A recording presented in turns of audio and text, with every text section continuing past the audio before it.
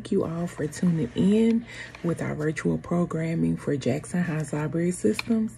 My name is Jessica, and I'm the branch manager of Lois A. Flagg Library here in Edwards, Mississippi. Um, with all that's going on with coronavirus and things like that, programming has been quite different but in a good way. We're still here able to provide services for you, and we're excited about doing our virtual programs. Um, as some of you all may know, Grandparents' Day is celebrated in the month of September. So this is our program for September. Um, Grandparents' Day is often is overlooked. Um, so I created a short program for grandparents and little ones um, due to coronavirus, I feel that this particular activity would be perfect for the occasion. So this program is basically an interview with Granny. I say Granny because I interviewed my grandmom for this program. Um, last year, we were able to physically do a program, which was um, we did coloring and craft activities with the grandparents and the grandchildren. So this year, it is a little bit different, but yet still fun.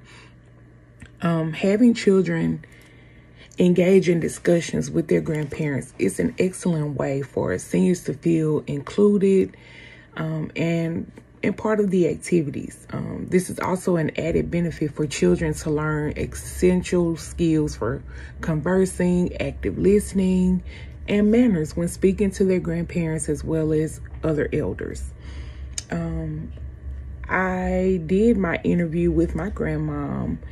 I did three, I actually did a series of six questions. I did three serious questions and then I did three silly questions. So I'm going to go on the list and I'm going to read my questions and her answers and we're going to go from there. So question one was, how did your family spend time together when you were young?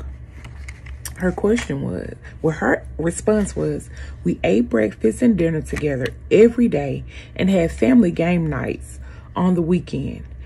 Now, families barely get to spend any time together because there are so many other things to occupy their time.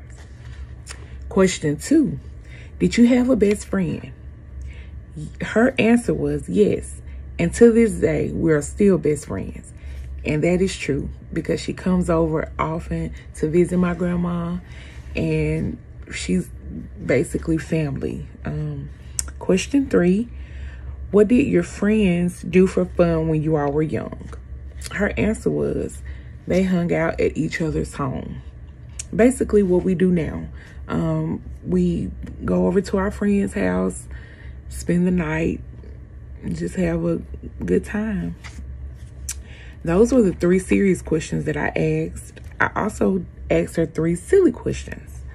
Um, the first question was if you could have dinner with your favorite movie character, where would you dine and what would you eat? Her response was, I would cook steak and potatoes unless he wants something different, and we would dine at my house because I love to cook. Y'all know I had to ask who that person was. Her response was Denzel Washington.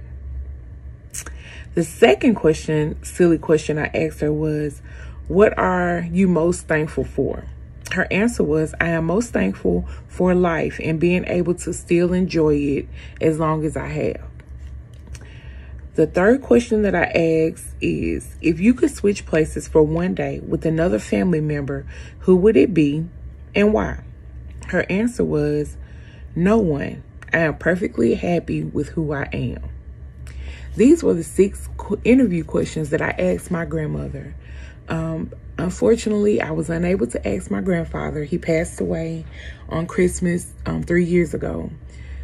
So, um, this was a very interesting interview and it was actually quite fun. I was able to spend time with her um, and just get to know different things about her which is which is what makes it fun.